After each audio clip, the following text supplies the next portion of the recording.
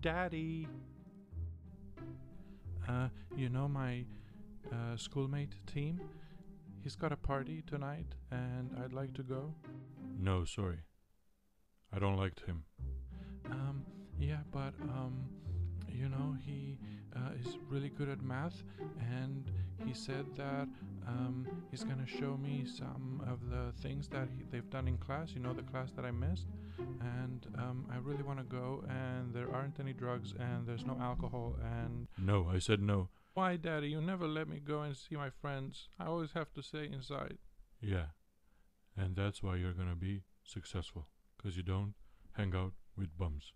That's it. End of discussion. Okay then.